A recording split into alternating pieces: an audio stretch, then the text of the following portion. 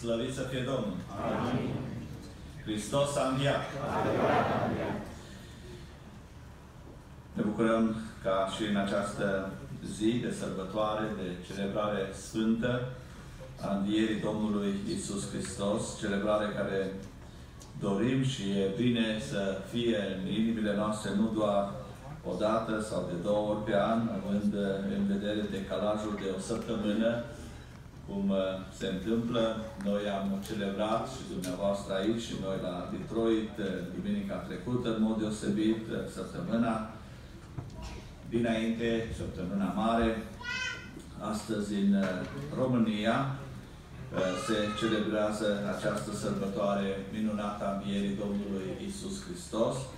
Dar e bine ca aceasta să fie permanent, constant în inimile noastre, celebrarea învierii Domnului Isus Hristos, fiindcă de această lucrare se leagă binecuvântările noastre, speranțele noastre și, în final, uh, mântuirea noastră. Permiteți-mi, dragi frați surori, iubită biserică în Domnul Isus Hristos, stimați oaspeți ai casei Domnului, să recitesc câteva versete din pasajul citit în această dimineață pentru a prospăta cuvântul Domnului între noi, în inimile noastre, ca sursă de învățătură uh, în continuare. Și am să recitesc Evanghelia după Ioan, capitolul 20, de la versetul 24, câteva versete. Toma a zis geamăn, unul din cei 12, nu era cu ei, adică împreună cu ceilalți ucenici, când a venit Isus.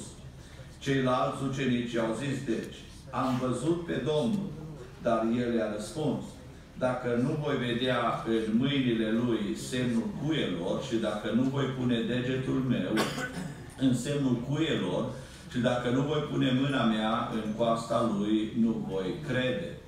După 8 zile, ucenicii lui Isus erau iarăși în casă și era și Toma împreună cu ei. Pe când erau ușile încuiate, a venit Isus, a stat în mijloc și le-a zis, pace vouă. Apoi a zis lui Toma, adu-ți degetul în coace și uită-te la mâinile mele și adu-ți mâna și pune-o în coasta mea și nu fi necredincios, ci credincios. Drept răspuns, Toma i-a zis, Domnul meu și Dumnezeul meu. Dați-mi voie să citesc și câteva versete din Evanghelia după Luca, din capitolul 24 uh, de data aceasta, de la versetul 36 în continuare, până la versetul 43. Pe când vorbeau ei astfel, adică ucenicii, însuși Isus a stat în mijlocul lor și le-a zis, pace vouă. Plin de frică și de spaimă, ei credeau că văd un duh. Dar el le-a zis, pentru ce sunteți tulburați și de ce vi se ridică astfel de gânduri în inimă? Uitați-vă la mâinile și picioarele mele. Eu sunt. Pipăiți-mă și vedeți, un duh n-are nici carne, nici oase, cum vedeți că am eu. Și după ce a zis aceste vorbe, le-a arătat mâinile și picioarele sale fiindcă ei de bucurie încă nu credeau și se mirau. El le-a zis, aveți aici ceva de mâncare. I-au dat o bucată de pește fript și un fagure de miere. El le-a luat și a mâncat înaintea lor. Până aici cuvântul Domnului din Sfânta Scriptură. Înainte de a intra în Cuvântul Domnului și aduce câteva învățături din Sfânta Scriptură și a continua, într-un fel, gândul central de mesajul de aseară, Iisus înviat, sau Fiul înviat, nădejdea noastră vie. A dorit să aduc un cuvânt de mulțumire, primul rând lui Dumnezeu, evident, dar, în al doilea rând, și dumneavoastră, pentru dragostea dumneavoastră, pentru generozitatea dumneavoastră. cu care ne-ați primit și cu care chiar aseară ne-ați hrănit trupul nostru și uh, se așteptau tinerii, ziceau, poate e pizza și a fost mult mai bună mâncarea decât pizza. Și vă mulțumim uh, surorilor în special și fraților care ați uh, pregătit, ați ostenit, ne-ați servit într-un mod atât de generos și în numele tuturor vă mulțumim frumos și doresc din toată inima Dumnezeu să vă răsplătească și să vă binecuvinteze. Prin cei care ne-au servit cu dragoste, cu atenție, îngrijindu-se de noi, a fost și un băiețel, nu știu dacă îl văd pe nu știu dacă mai recunosc că nu mai are șorțul acela, Filip. Un băiețel cu numele de Filip. Ești aici, Filip? Unde e Filip? Arată-ne. Uite acolo este Filip. El a fost cel care ne-a servit cu farfuria și a avut grijă de noi. Mulțumim frumos, Filip. Domnul să te binecuvinteze.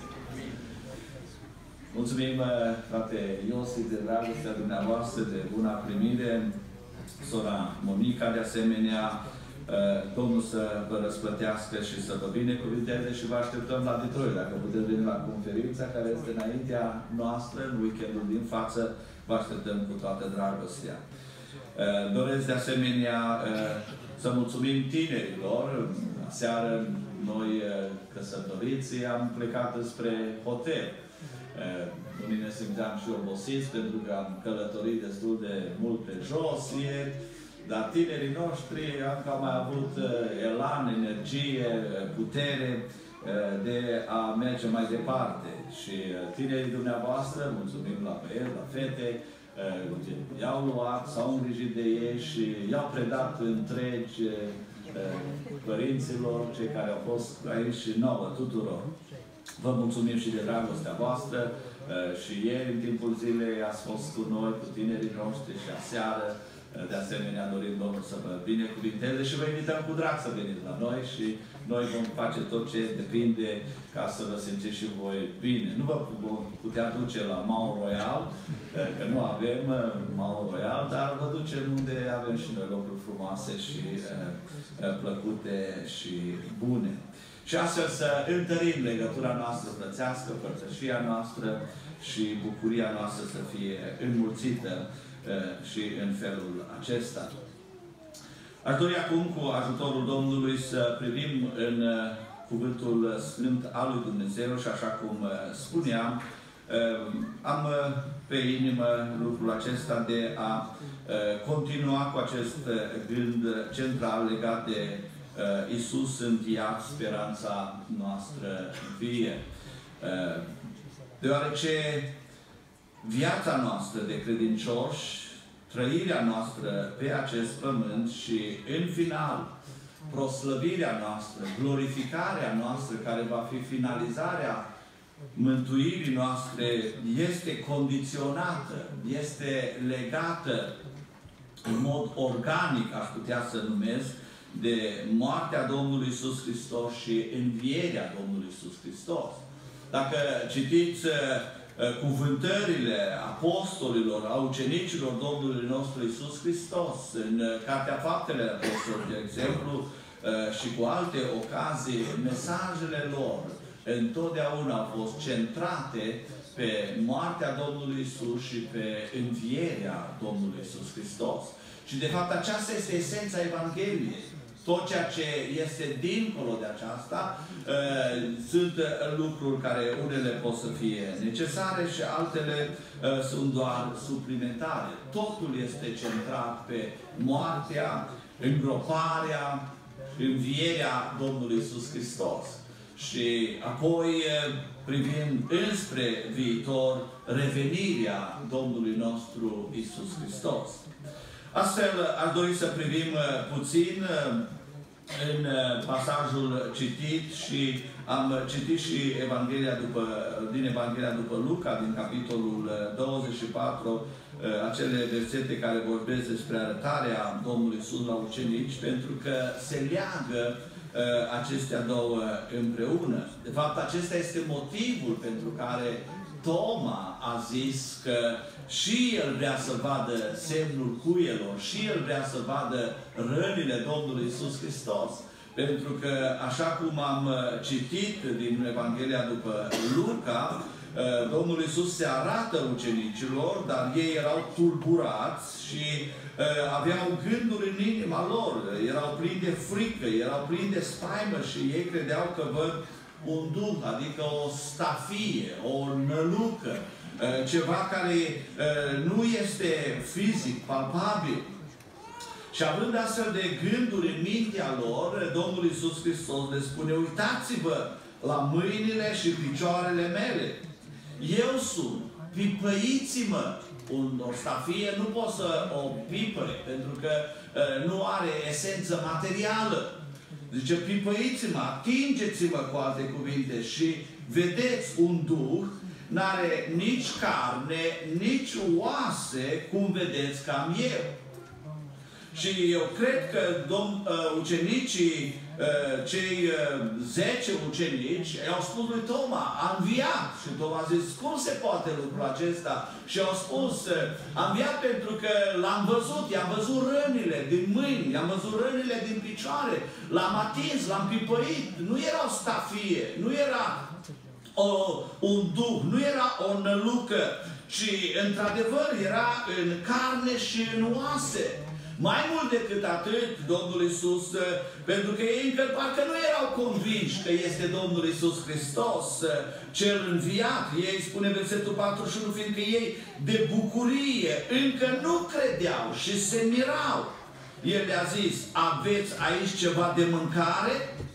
I-au dat o bucată de pește frit și un fagure de miere și scrie mai departe evanghelistul Luca, el le-a luat și a mâncat înaintea lor.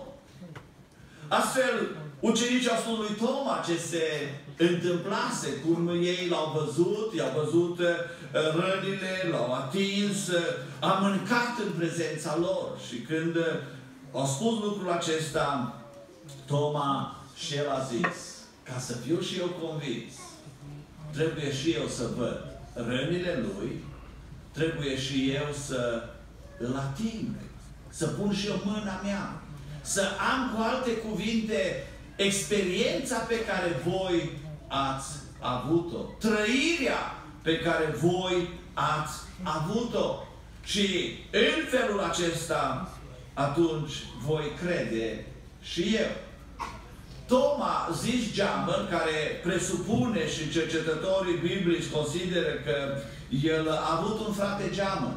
De aceea spune Toma, zis Geamăn, sau Didimus.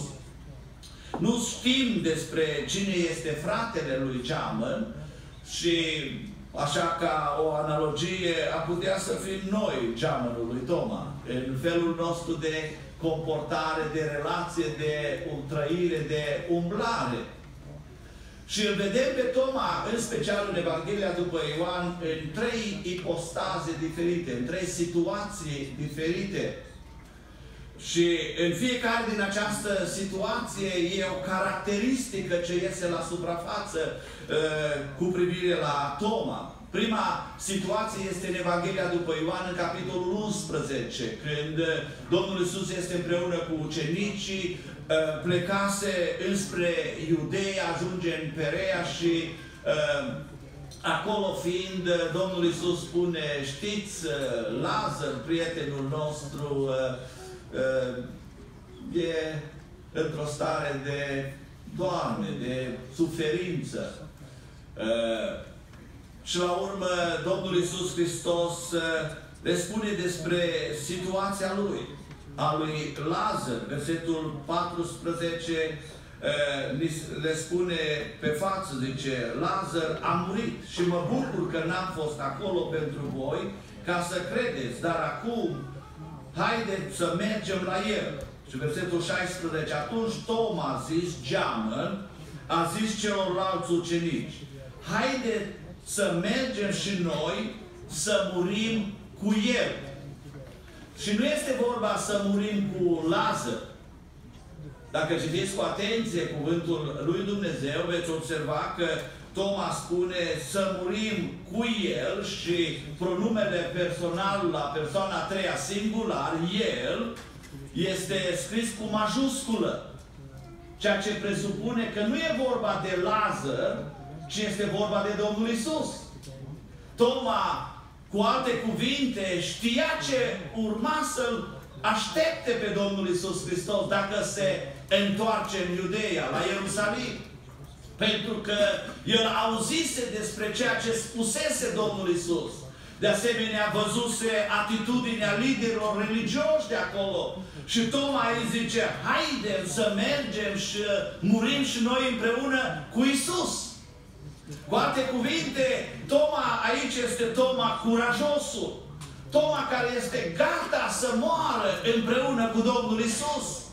Toma care este gata să meargă, să sufere împreună cu Domnul Isus.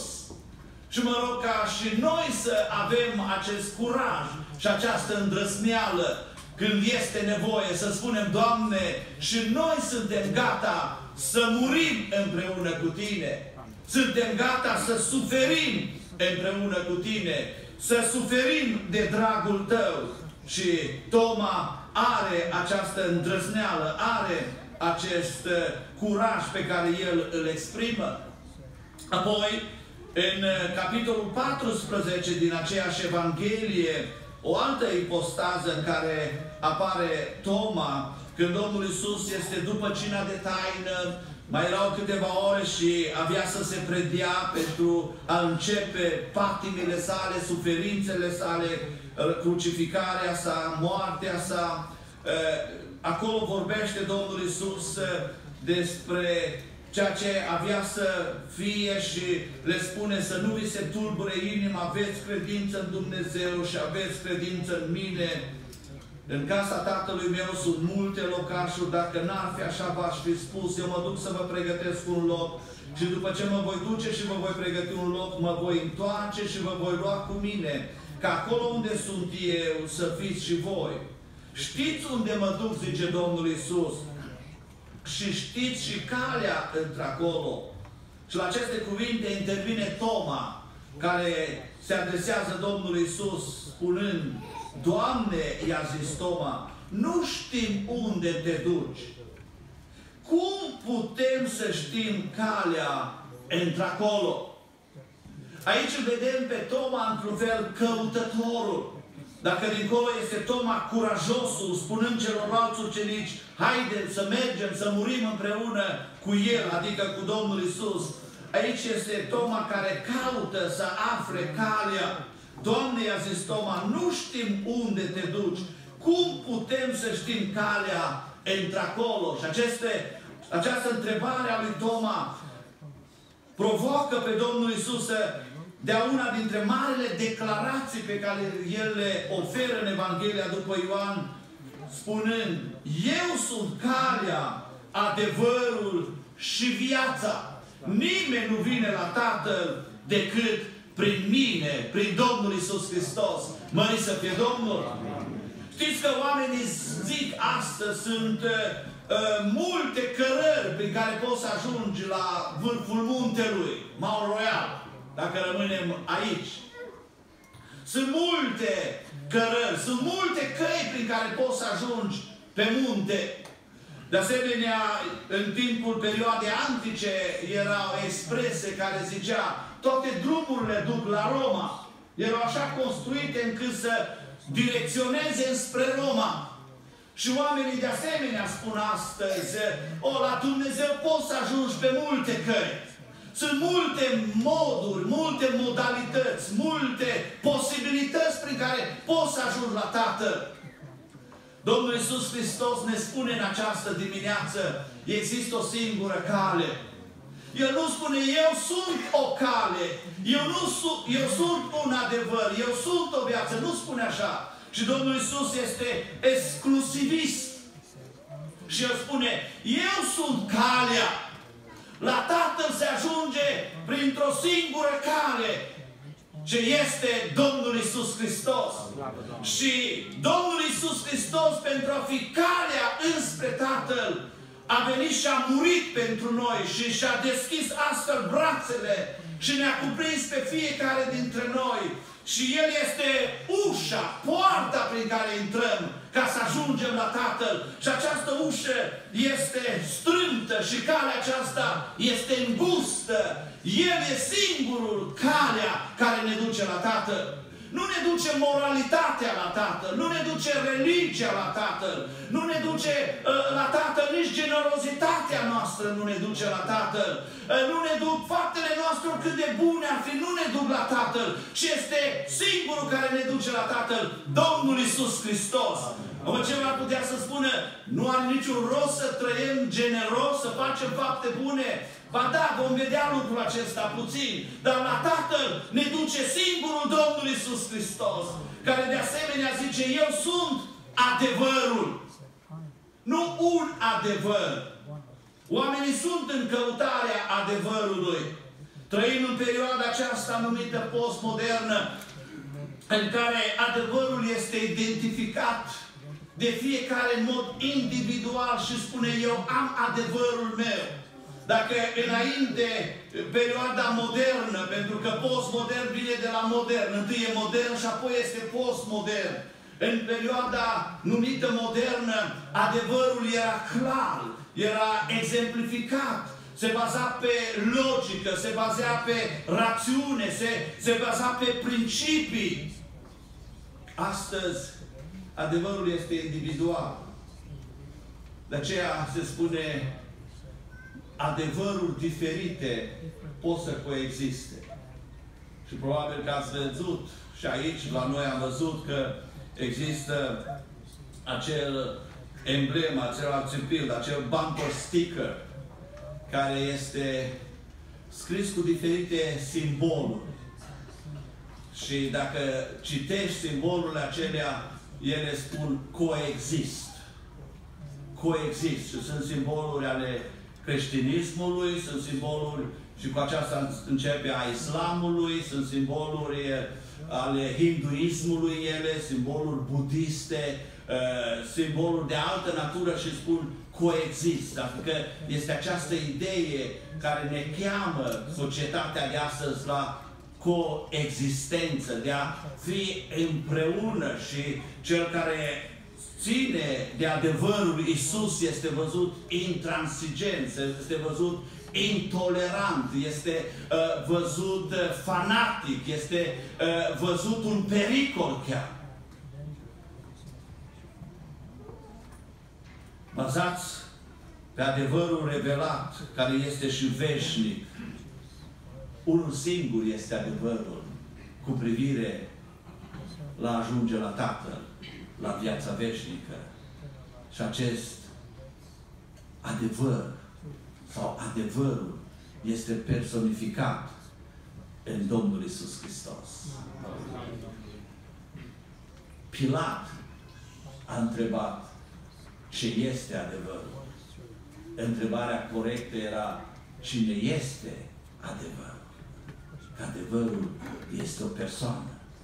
Și despre această persoană chiar și cei mai răi dușmani, cei mai împotrivitori dușmani ai lui, n-au putut să spună că el a mințit deodată. În gura lui n-a fost niciodată vicleșug.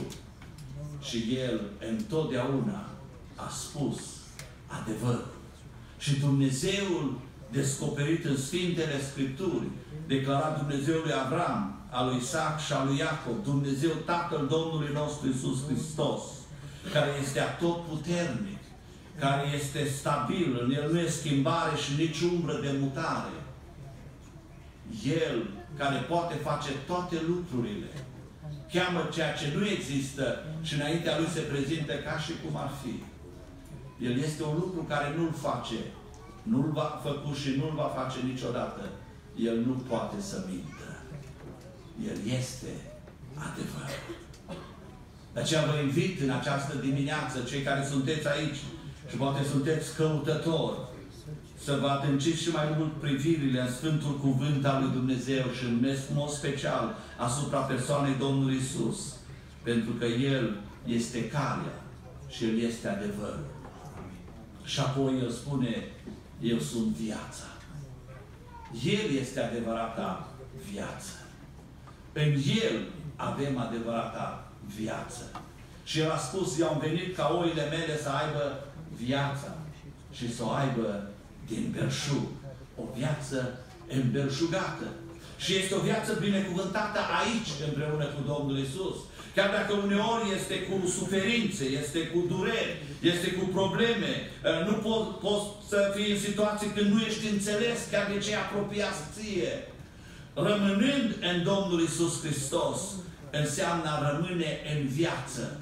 Pentru că de aici este mutarea dincolo, împreună cu El, în viața eternă. Mărit să fie numele Domnului. Astfel, Domnul Isus Hristos este temelia noastră, este fundația noastră pe care noi ne zidim credința noastră și pe care ne ancorăm viața noastră. Și ceea ce este esențial în Domnul Isus Hristos, în mesajul din această dimineață, este învierea Domnului Isus Hristos. Astfel, Toma, în al treilea rând, prezentat în pasajul din această dimineață, este primul care declară cu privire la Domnul Isus Hristos, după ce sunt arătate dovezile că El într-adevăr a înviat. Toma este primul care declară cu privire la Domnul Isus, Domnul meu și Dumnezeul meu. Astfel, Evanghelia după Ioan începe, spunea cineva, cu Fiul lui Dumnezeu la sânul Tatălui. La început era cuvântul, cuvântul era cu Dumnezeu și cuvântul era Dumnezeu. Și se încheie cu păcătosul la sânul lui Dumnezeu. Toma este cel care declară Domnul meu și Dumnezeul meu. El nu declară Domnul nostru și Dumnezeul nostru. El nu declară Domnul Universului și Dumnezeul Universului, deși Domnul Isus este Dumnezeul întregului Univers. Și El ia pe Domnul Isus Hristos privind înspre Domnul Isus și spune, Tu ești Domnul meu și Dumnezeul meu. Și de aici înainte Toma este gata ca așa cum a declarat în, în capitolul 11 cu versetul 12 haidem să mergem, să murim împreună cu El. Toma este gata să moară pentru Domnul Isus Hristos. Și Toma este gata să meargă să proclame învierea Domnului Isus Hristos. Și el ajunge cel mai departe în răspândirea Evangheliei Domnului Isus, din punct de vedere geografic, conform istoriei bisericii, ajunge până în India și acolo el moare de sulița care este împrântată în trupul lui și mormântul lui, conform istoriei și tradiției bisericii, este undeva acolo tot în munte, lângă orașul Cenai. Și mormântul lui este vizitat de către mulți peregrini. El a fost gata să moară pentru Domnul Isus Hristos, care a fost calea pentru el, a fost adevărul pentru el și a fost viața pentru el. Mări să fie Domnul. Isus înviat este speranța noastră vie. Aș vrea acum să privim în Cuvântul lui Dumnezeu și să vedem învierea Domnului Isus. Pentru că în Sfânta Scriptură sunt mai multe învieri. Învieri care sunt prezentate în Vechiul Testament. Învieri făcute de oameni al lui Dumnezeu, cum este Ilie, cum este Elisei, de exemplu. De asemenea, Sfintele Evanghelii vedem alte învieri făcute de Domnul Isus Hristos. Trei dintre ele, a lui Lazar pe care am pomenit-o, a unei fetițe de 12 ani, al unui băiat care era singura speranța mamei sale, ce era văduvă din Nain. Vedem apoi învieri în Cartea Faptele Apostolilor, făcute de apostoli. Petru, Pavel, cu ce e diferită învierea Domnului Isus? Sau este ea diferită de acelorlalți? Cu siguranță că da.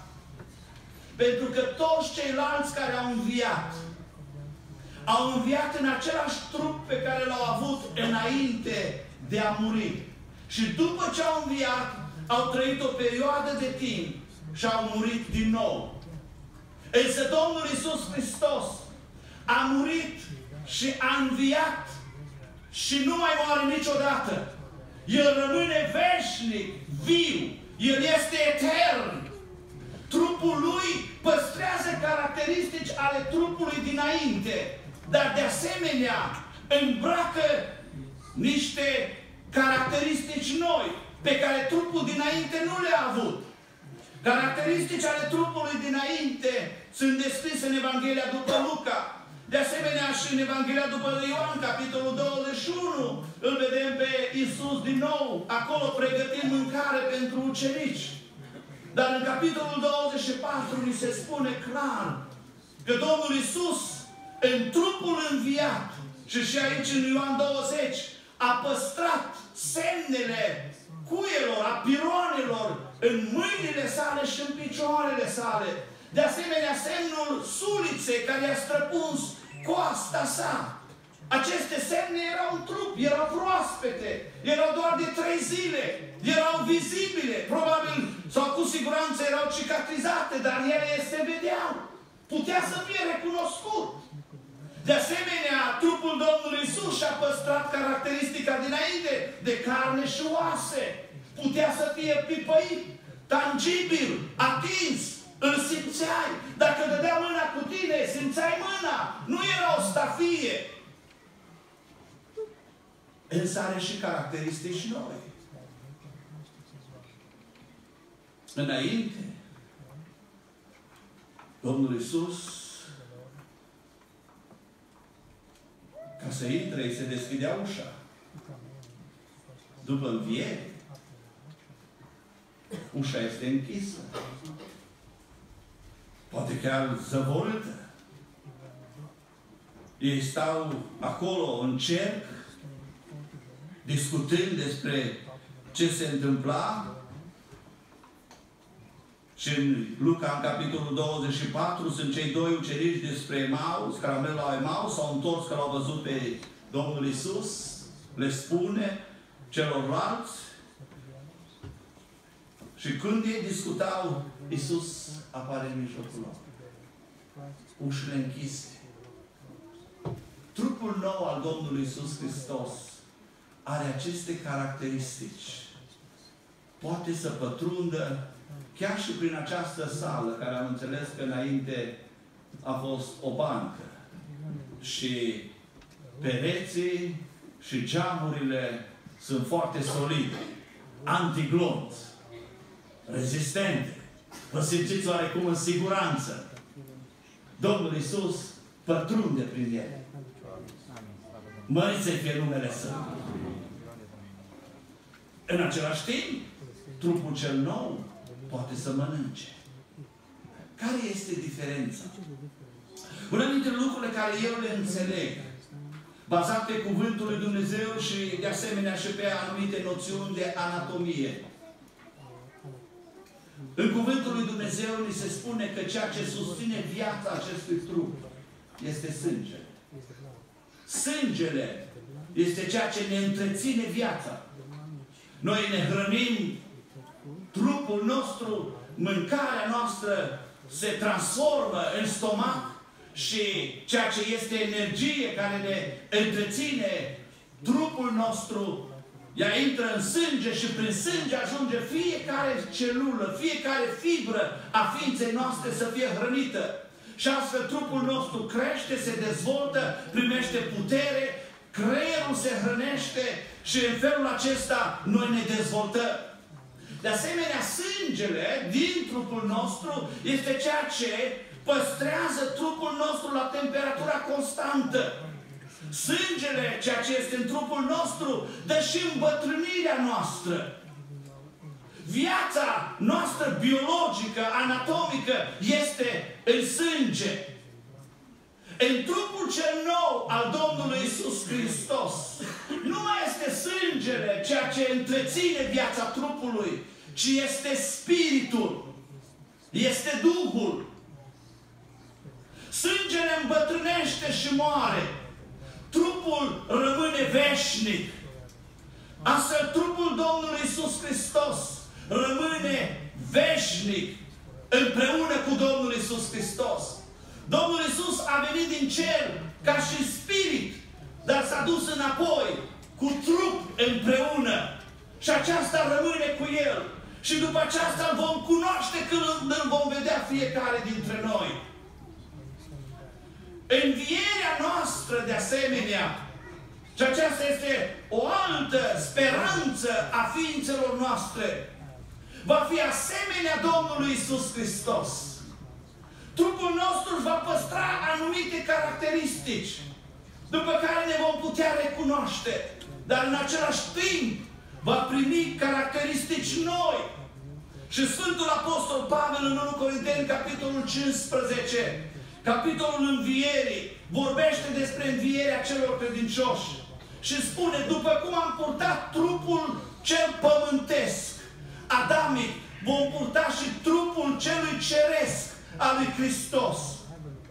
După cum trupul acesta este semănat în ocară, trupul cel nou va învia în glorie.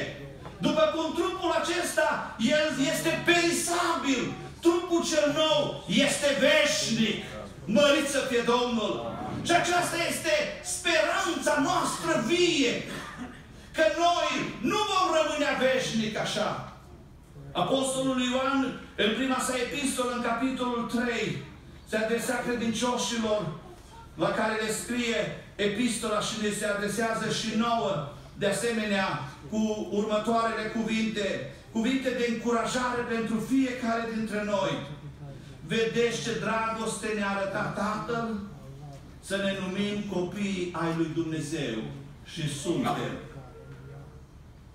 Lumea nu ne cunoaște. Scria Petru și am vorbit aseară, față de lume suntem străini.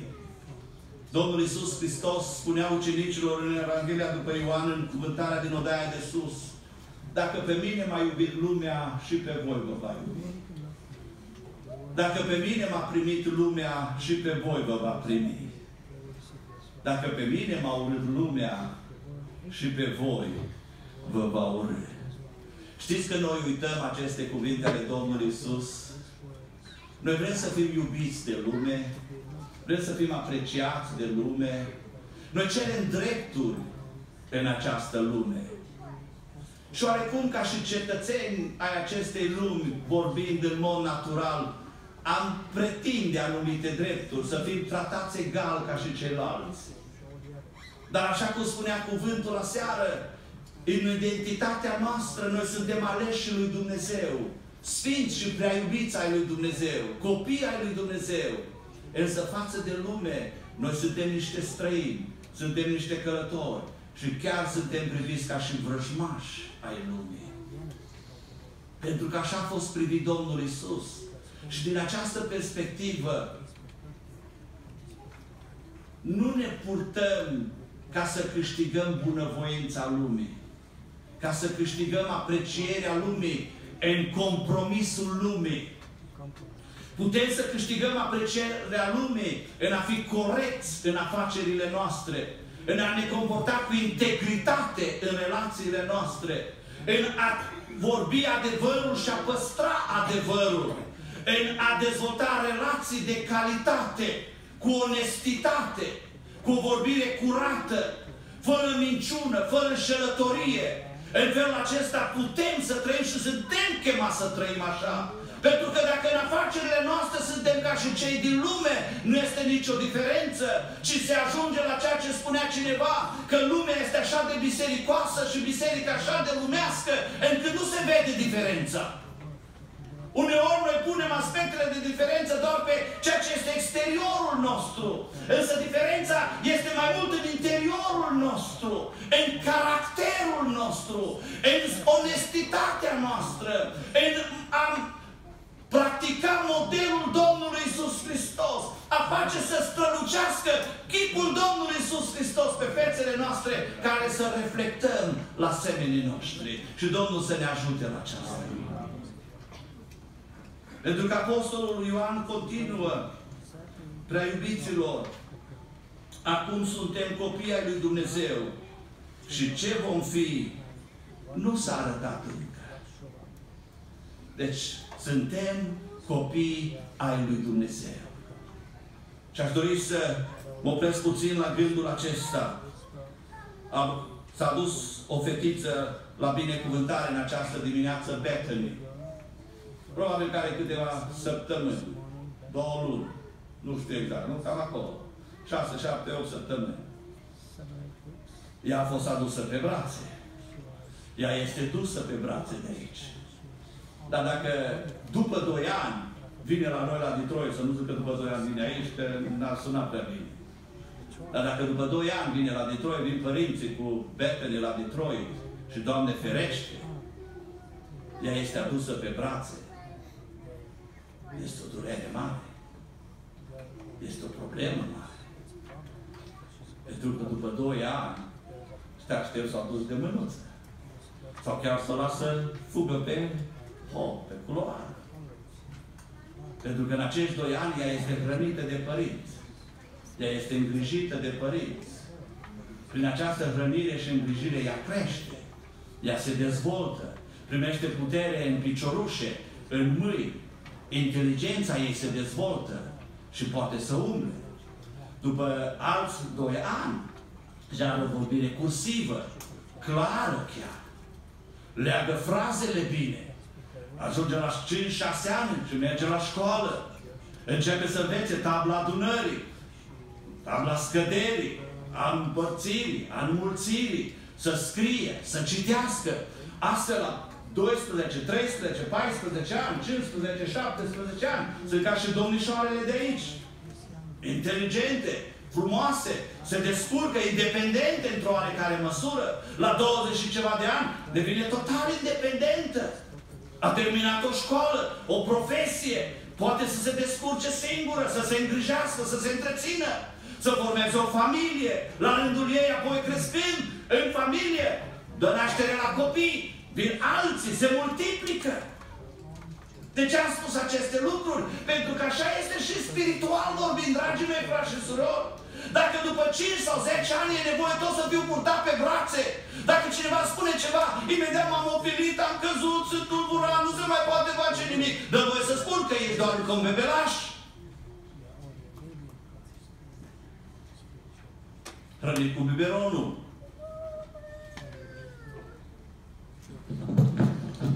Sau cu mâncare gris cu lapte. Mă răzuit cu biscuiți. Mâncare moale. Noi și spiritual suntem chemați să creștem. Sunt copilași, sunt tineri, sunt băieți. Astfel, când ajungem la vârsta de majorat spiritual, de maturitate spirituală, suntem chemați să dăm naștere la alți copii. Care la rândul lor ei să crească, ei să se dezvolte. Și în felul acesta lucrarea Domnului să ne înainteze.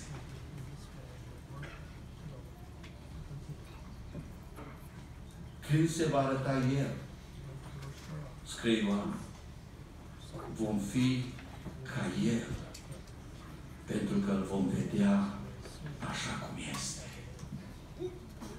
Va veni o zi când Domnul Iisus se va arăta în glorie. Cei care vor fi în morminte vor fi înviați la clipeală de ochi. Înălțați. Cei care vor fi în viață la aceeași clipeală de ochi vor fi transformați și vom întâmpina pe Domnul în văzduh. Înțelegerea mea este, nu se bazează neapărat pe dovezi biblice clare, dar oarecum pe analogie, dacă vom fi ca El după înviere, înțeleg că vom fi cam la această vârstă de 30, 30 și ceva de ani. Amin? Ce înseamnă această vârstă? Și biologic se spune că până la această vârstă încă se dezvoltă. Una dintre situațiile copiilor și de ce întrebarea lor cheie este de ce? Aceasta este întrebarea care, când îi spui ceva la un copil cu asta vine, de ce? Și noi, părinți, adeseori suntem iritați de această întrebare. Și unii o numesc perioada aceasta The Why Generation. Why, why, why? De ce, de ce, de ce? Dați-mi voie să vă spun, dragi părinți care aveți copii în situația aceasta. Noi avem copii împreună cu soția care acum ei sunt în stare să îngrijească de nepoții noștri. Dacă ați priceput. Pentru că e de arătat prin studiul creierului că maturitatea creierului pentru a înțelege că actul pe care îl face are consecințe și să înțeleagă acele consecințe ajunge să fie dezvoltat doar de la 21, 22, 23 de ani în sus. La vârsta mai mică nu face corelație între act și consecință. Și când tu îi spui, nu ai voie să faci aceasta sau trebuie să faci aceasta, întrebarea automată este, de ce? Pentru că nu vede corelarea în mintea lui sau în mintea ei între actul care spui și consecințele actului. Ceea ce trebuie să facem noi ca părinți să ne bucurăm că ne pune această întrebare. Să spune, e o ocazie de învățătură, de explicație. Dar noi suntem așa de ocupați încât spune, pentru că eu sunt tatăl tău, eu sunt mama ta, du-te și vă. Nu sună prea bine, nici felul cum am spus și nici pentru copii. Că ai vrea mai târziu când are 20 și ceva de ani să te să te mai întrebe de ce. Nu te mai întrebe. Vom fi ca Iisus la această vârstă a maturității, a puterii, cu un trup glorificat. Și aceasta este finalul nădejdii noastre. Și asta îți dă puterea să trăiești curat. Pentru că spune, oricine are nădejde aceasta, în el sau în ea, se curăță după cum el, adică Isus, este curat. Aceasta îți dă puterea când în jurul tău este minciună, tu să rămâi ferm cu adevărul. Aceasta îți dă puterea când toți în afacerile lor înșală și păcălesc, tu să fii corect chiar dacă pierzi. Aceasta îți dă puterea, ca și lui Daniel, să poți să spui, împărate, sunt nevinovat și înaintea ta și înaintea lui Dumnezeu. Pentru că în final ne întâlnim cu Domnul Isus și se merită. Aici poți să fii disprețuit. Poți să spui, o, e naiv, e prost. Nu poți păcăli cum vrei. Nu, nu, nu, nu. Rămâi credincios Domnului. Trăiește în lumina Lui în dragoste, în credință și în nădejde. Și în felul acesta, nădejdea care o ai astăzi va deveni realitate. Și când ea va fi realitate, vei spune, s-a meritat. S-a meritat. S-a meritat. Și Domnul să ne ajute. Amin. Amin.